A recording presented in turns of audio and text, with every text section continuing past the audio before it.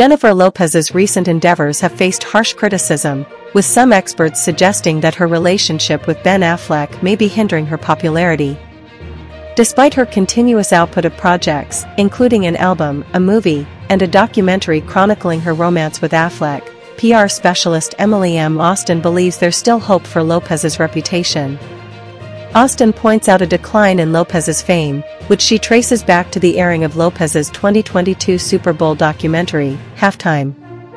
Austin criticizes Lopez's behavior during the documentary, describing it as uncompromising and whiny, particularly in her reaction to sharing the stage with Shakira.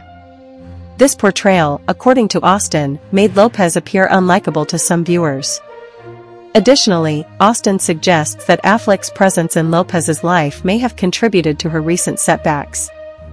She highlights public appearances of the couple, including controversies like the 2023 Grammys incident, where Lopez's image has been portrayed as mundane and unhappy, contrasting sharply with the glamorous persona fans have come to expect.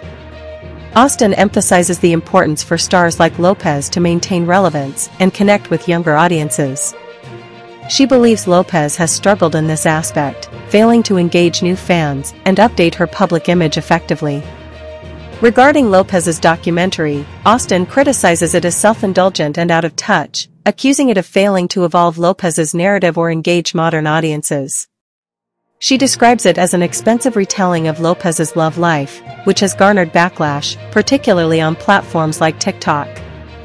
In essence, while Lopez's recent projects have faced challenges, Austin suggests that with strategic changes and a renewed focus on engaging her audience, Lopez may still be able to salvage her reputation and reconnect with fans old and new.